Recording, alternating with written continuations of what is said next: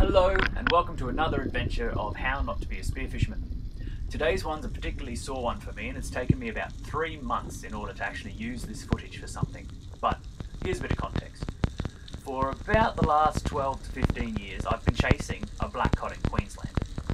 And I've had four chances and I've ruined them all. But this one is by far my worst. So, here's a bit of context. We're sitting at about 30 metres on the top of this ledge, and we usually come here to hunt other things, and I've never seen a black cod here before. But on this day, one appeared, and I missed it point blank. So, I'll let you watch it in normal speed first, then we'll rewind, and I'll go through it in slow motion, just how I ruined this opportunity.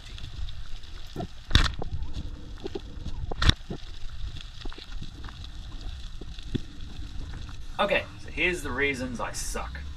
First one is, I had perfect cover. I could have snuck up on this fish beautifully from behind the, this ledge. But instead I was overexcited.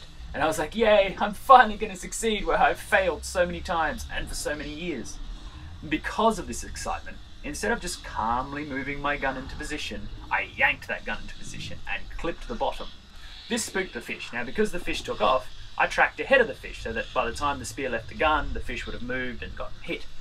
This didn't happen.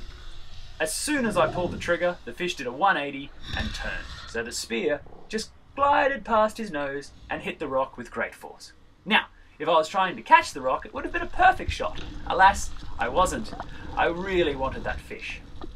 So, all I had was a really deep sense of confusion and also anger. I couldn't work out how I had done this so poorly until a couple of months later I finally got the courage to watch the footage.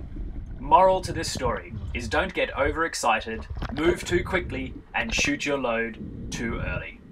You will just leave the fish and yourself disappointed.